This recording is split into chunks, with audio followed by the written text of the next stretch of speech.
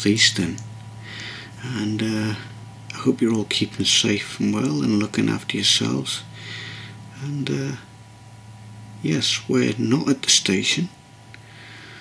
We're here at the bench painting some figures that I've bought off of eBay. And uh, I thought that I've got to make them my own. When I looked at them, they were already painted, but I thought I could really do a better job. And um, and they're two ladies. As you can see, I'm just putting some clothes on them. Um,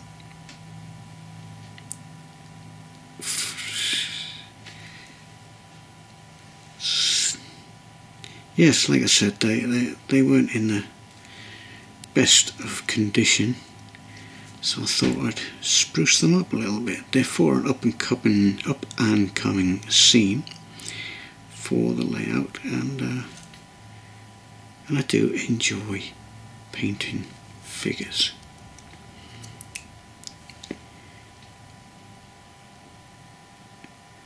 Uh, yeah, and for you know she's got she's got some lipstick on and how I did that was with a toothpick. Chafened really really fine. Dipped in paint just rubbed it under her nose and it looks like she's wearing lipstick. Um, yeah. So this is where we are at the moment. We will come back to the station in a minute once I've finished painting both of these figures. But for now, I should just carry on with these. Like I said, for the finest lines you sharpen a toothpick right to a really fine point, dip it in your paint and just create the line. That's what I'm doing here is I'm just creating a line between the red and the white.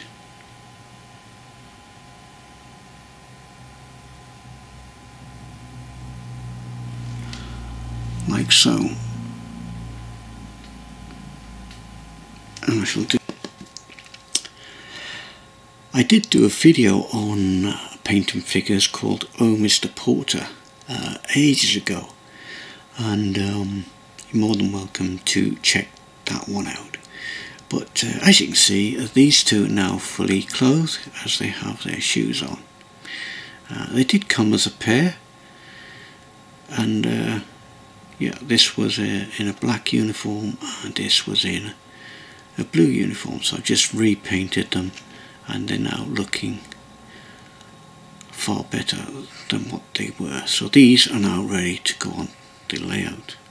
So, time to crack on with our build. Right, we've had our fun. Time to get back to our serious um, build, which is the Tyne Dock station. So what I'm going to do here is I'm going to continue and make these um, canopy supports. Um, you see we've got dimensions there 25 by 34 but I might alter that slightly. I think I want to come out a little bit further. We know the platform's 37 millimeters um, from the edge of the building to the edge of the platform. Um, so I might make that just slightly longer to take it over the edge of the platform very very slightly but we shall see how we get on with that. Right so that's the the bracketry. And here it is again in this drawing. And um, you can just make it out. And this is the edge of the uh, building if you're looking at it from either north or west where we've got three columns um, which will hopefully support the canopy. But that might change depending on how well these look once they're made.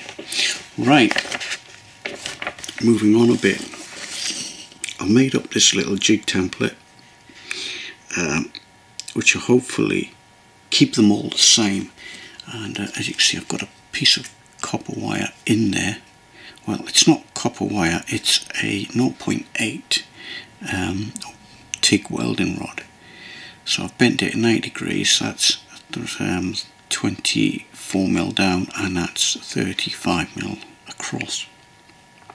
So I've made this jig up so that um, I can solder them in place and get them all the same.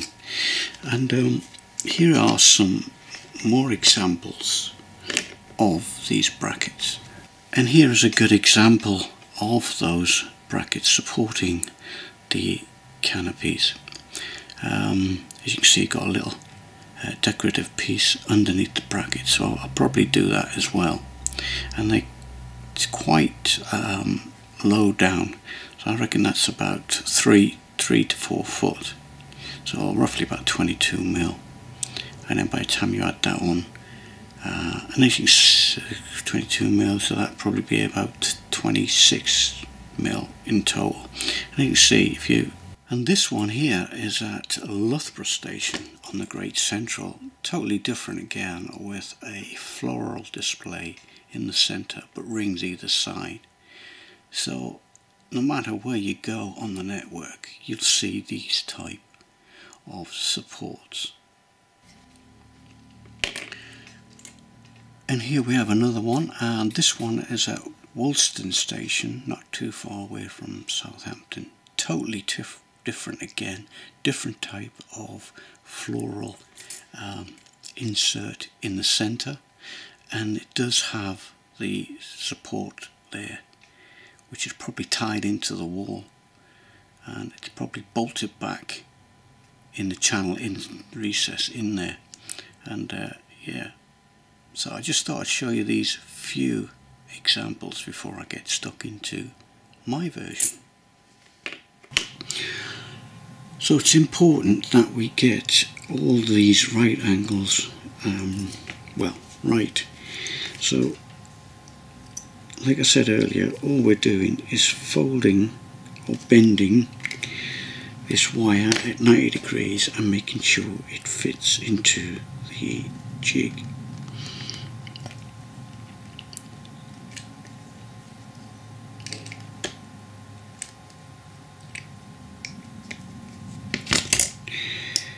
And if it's a little bit long we need to cut it back. So what I do is put the TIG rod into the snips grip it and then put my hand over it to stop the uh, the offcut literally pinging across the room because you've got to put a little tiny bit of force onto this to make sure you cut straight through. And then we just offer it up. Still not quite there so I'll take a little bit more off only a fraction this time.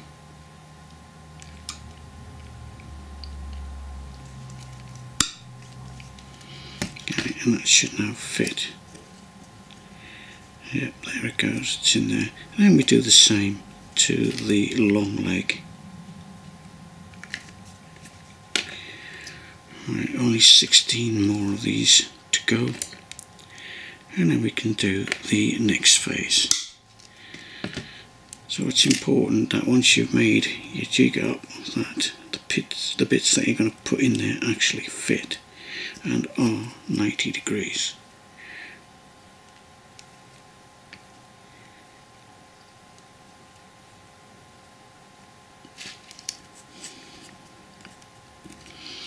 Like so. I've been experimenting with some washers and um, spring washers, corrugated washers, various sizes and obviously that those washers won't take to this copper coated TIG rods, 0.8 rods these are by the way. Um, so I've decided to do what I've done in the past and that's make some copper rings up and that's what's been soldered in the middle of this bracket. If I just flip it over you can see the copper rings inside. Um, two sizes that I've used um, 7 mil and 3 mil. You're probably thinking why is he talking about drill bits? Well let me show you what I've done. So you get a bit of copper wire you put it into the flutes of the drill. Once you get it into the flute of the drill you hold it with your thumb and then you twist the copper wire around the drill to form a spring once it's all done. And then once that's done you get as many and obviously once you get it on there you've got to push copper wire together. I just get that into focus. Come on focus up. There you go. And then you push the copper wire together to form a spring so it's nice and tight. And then once it's tight you'll end up with something like this. And what you do then is just cut down the center of the spring. You'll end up with loads of little 4 mil rings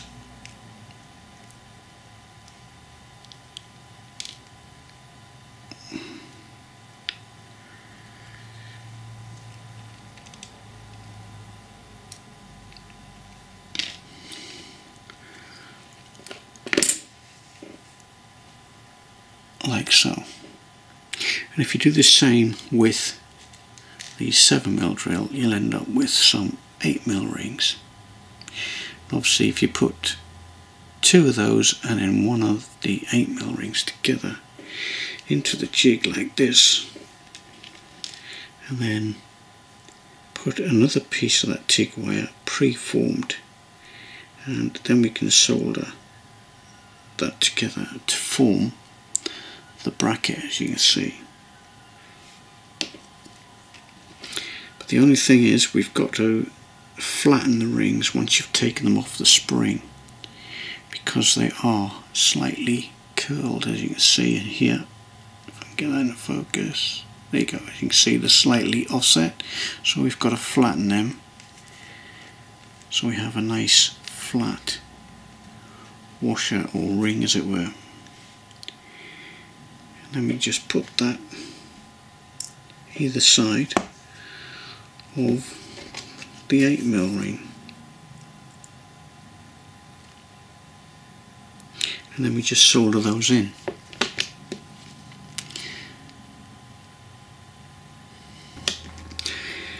Yeah so once you flatten your rings lay them on your jig like I've done here. And then we have to form the lower um, part of this bracket. Um, basically I just get the pliers and it's roughly about 3 mil for the first, bend it at 45 degrees which will then give you the piece that you need to fold um, solder onto the um, right angle. And then as you can see here I've put a mark on my um, pliers. And then I could just go ahead with the next bit, keeping that in line, making sure that it's flat as well, and just give it a little push, and then move it along to the next bend, and then give it a little push, and eventually you create the curve for the lower piece of the bracket. Normally, it's normally three parts, and then we just place that in there so as you can see, it's slowly getting closer. Right, so on the second bend, which is the middle one, I'll just give that a bit more, which will bring it away slightly.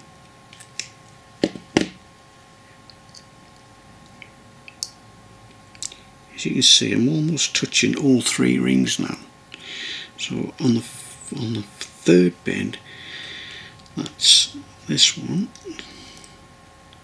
we give that a little tweak to make it go flat. Bear in mind keeping the, the rod flat all the time as we go. Hopefully that should be it. So that's almost there now. Also I've got to tweak bends 2 and 3 a little bit more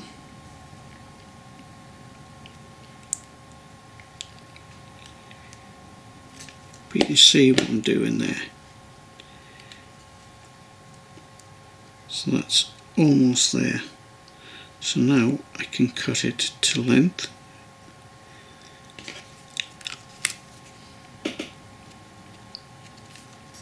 So I cut that and then what it's just doing now is just the little tweaks here and there to get the radius to sit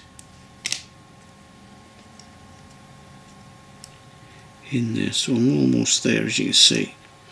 So bends two I've got to bend it a little bit more. Bring it down bring it down and then pull it all back. So I'm almost there for soldering.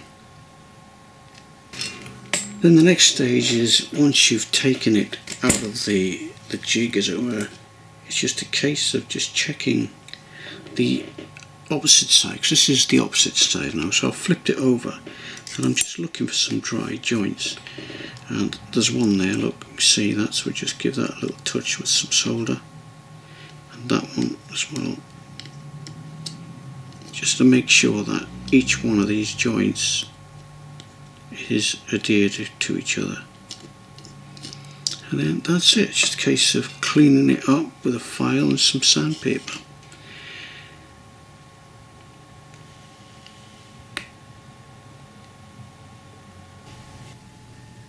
Right, so I've got one of these brackets in my hand I'm just going to offer it up. There is a faint line all the way along that edge there, just in line with this cobblestone. So I'm just going to place that one there, just to give you an idea of what these are going to look like uh, once they're painted.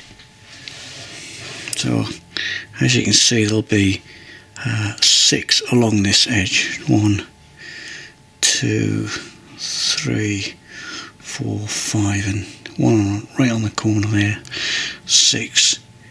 And uh, if I hold it in line with the line, and then you can see sit underneath there, so it's quite uh, in context with the scale of things.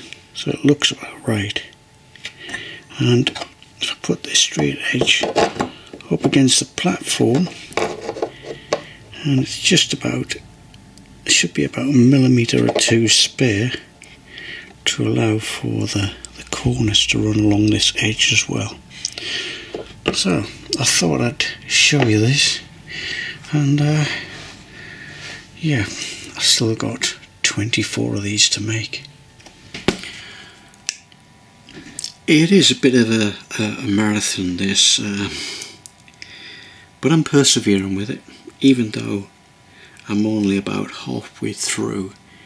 Uh, I've done 13 up to now and uh, yeah I think I'm uh, enjoying this um, little tiny project as it were creating these supports. Um, it is fiddly time consuming but I'm sure the end result will pay dividends as you'll see in the coming days or weeks depending on how many of these I can get done? I'm averaging between five and six an evening which is not bad. Consider only spending a, a couple of hours each evening.